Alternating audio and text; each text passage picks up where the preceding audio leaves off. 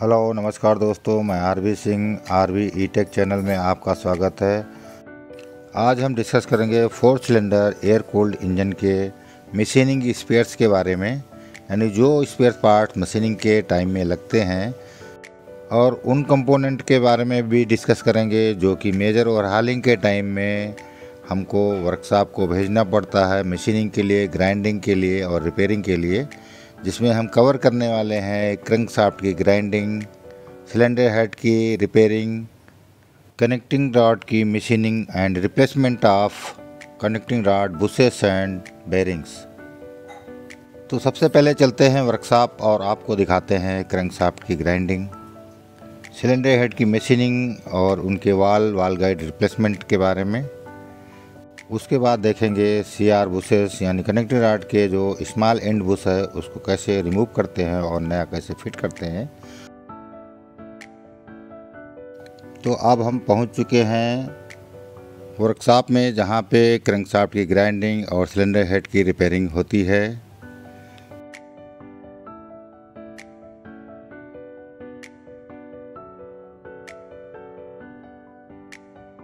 और ये सामने जो रखी हुई है मशीन, ये लाइन बोरिंग मशीन है। और ये हमारा क्रंक ग्राइंडिंग मशीन है, जो छोटी क्रंकें होती हैं, वो इस पर बनती हैं। और जिस पे हमारी फोर सिलेंडर की मशीनिंग होनी है, ग्राइंडिंग होनी है क्रंक साफ्ट की, उस मशीन की ये प्रिपेशन कर रहे हैं। तो अभी इसी मशीन पे क्रंक साफ्ट बंधेगी और उसकी ग्राइंडिंग की जाएगी। क्रैंक शार्ट बांधने के बाद में सबसे पहले उसका रनआउट चेक करते हैं और बिल्कुल ज़ीरो ज़ीरो सीधी कर लेते हैं क्रैंक शार्ट तो क्रैंक शार्ट बाँध चुके हैं, अब इसकी, अब इसका रनआउट डायल गेज की मदद से बिल्कुल ज़ीरो ज़ीरो कर लेंगे, उसके बाद ग्राइंडिंग स्टार्ट करेंगे। तो क्रैंक शार्ट बिल्कुल सीधी हो चुकी है अब क्रैंक शाफ्ट की ग्राइंडिंग स्टार्ट करेंगे। एक्चुअली ये crankshaft already under ten में चल रही थी। अब इसको ट्वेंटी में ग्राइंड करना है।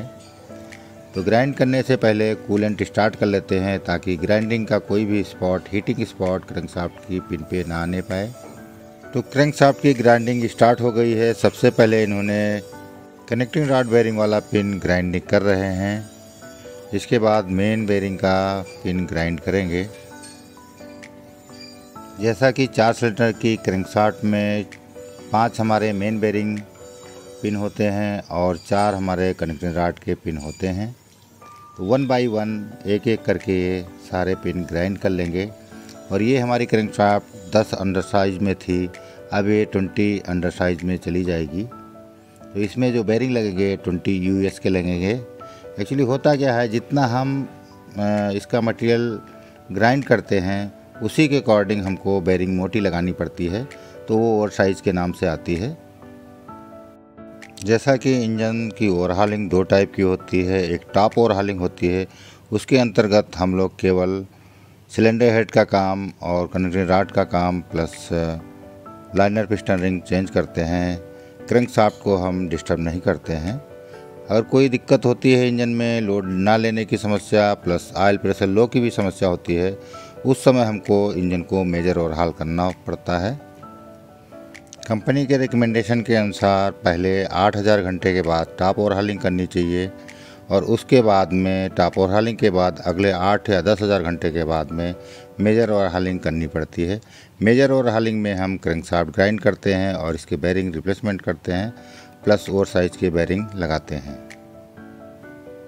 तो ये मेजर कर रहे हैं और इनके अनुसार ये अपना सिलेंडर नंबर वन का क्रंक पिन ग्राइंड हो चुका है, जो कि 20 ओवर साइज़ में आ गया है। अब इसमें हम कनेक्टिंग राड की बेरिंग फिट करके देखेंगे, प्रॉपर स्मूथ घूम रहा है या नहीं। तो कनेक्टिंग राड फिट हो गया है, बिल्कुल स्मूथ घूम रहा है क्लीनेस भी बिल्कुल ठीक है। बेसिकली कनेक्टिंग राड बेरिंग के और क्रंक पिन के बीच में जो ऑयल क्लियरेंस होता है, वो होता है लगभग एक थाउ से दो थाउ के बीच में, यानी पॉइंट ज़ीरो थ्री एम से पॉइंट ज़ीरो फाइव एम के बीच में। तो ये इसी प्रकार से वन बाई वन सारी पिन ग्राइंड करेंगे। अब हम देखते हैं कनेक्टिंग राड के बुसेस कैसे निकाल रहे हैं और कैसे इनको इंसर्ट करते हैं। तो ये फोरमैन साहब हैं, ये पुराने बुश निकाल रहे हैं और इसके बाद में नए बुश डालेंगे। तो ये कनेक्टेड आर्ट का पुराना बुश आलमोस्ट निकल गया है।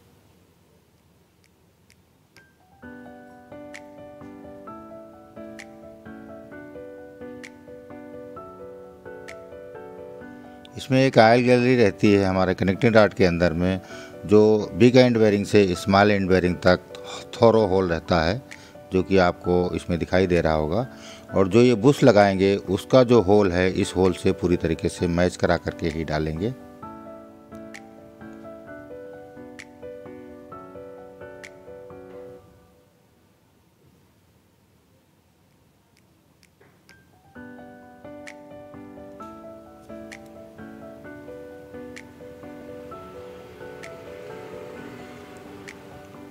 ये नए बुश की लाइन मिला रहे हैं ताकि हमारा जो होल हो, वो इसके कनेक्टिंग राड के होल के सामने बुश का भी होल मैच कर जाए।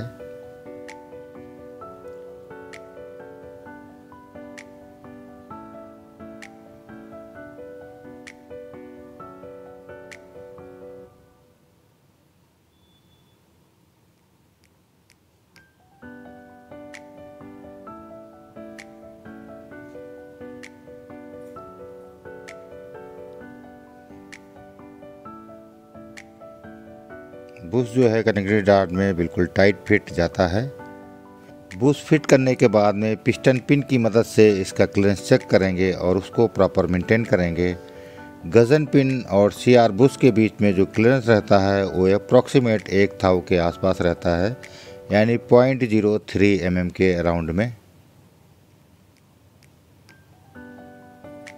तो ये वन बाई वन करके चारों कनेक्टिंग राड में सी आर बूस्ट फिट करेंगे। उसके बाद में कनेक्टिंग राड का अलाइनमेंट चेक करेंगे। अलाइनमेंट में ये देखते हैं कनेक्टिंग राड की बैंडनेस अगर कनेक्टिंग राड थोड़ा बैंड है इधर उधर तो उसको पूरी तरीके से अलाइन यानी सीधा करके ही देंगे। तो अब चलते हैं सिलेंडर हेड की तरफ़ और देखते हैं सिलेंडर हेड में क्या क्या रिपेयर करते हैं। तो ये है सिलेंडर हेड्स सिलेंडर हेड में ये इन्होंने इसका फेस जो है, वो मशीनिंग किया है, यानी अन इवन फेस होगा, उसको इन्होंने मशीनिंग कर दिया है और ये है वाल सीट इसको रिप्लेसमेंट किया है। यहाँ पे वाल सीट लगी हुई है और नीचे में वाल गाइड है, उसको पुरानी निकाल करके नई डाला है।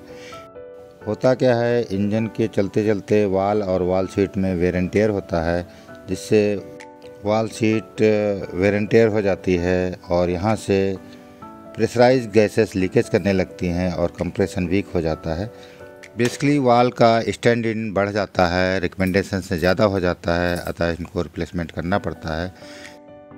वाल का ये हिस्सा जो है, सामने जो दिख रहा है, यही सीट के साथ प्रॉपर मैच करता है और इसको मशीनिंग वाला जो वर्कशॉप वाला है, वो प्रॉपर लैप करके देता है ताकि यहाँ से कोई गैसेस लीकेज ना हो। एयर कूल्ड सिलेंडर हेड के बाहरी भाग में फिंस लगी रहती हैं, जिससे हीट ट्रांसफ़र कैपेसिटी हेड की बढ़ जाती है। और ये है एग्जास्ट पोर्ट इसका। यहाँ से एग्जास्ट हॉट गैसेस बाहर निकलती हैं। और ये फिंस हैं इसमें। और ये है इंजेक्टर ट्यूब। इसके अंदर में इंजेक्टर रहता है।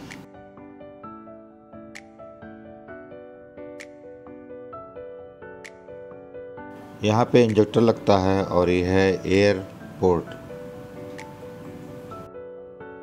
जनरली एग्जास्ट वाल का साइज़ छोटा होता है और इनलेट वाल का साइज़ बड़ा होता है. तो आज के वीडियो में बस इतना ही. फिर मिलते हैं अगले किसी वीडियो के साथ में. तब तक के लिए नमस्कार. अगर अभी तक आपने हमारा चैनल सब्सक्राइब नहीं किया है तो कृपया सब्सक्राइब कर लें और बेल आइकन को दबा लें ताकि हमारे वीडियो सबसे पहले आप तक पहुँचें थैंक यू फॉर वॉचिंग धन्यवाद।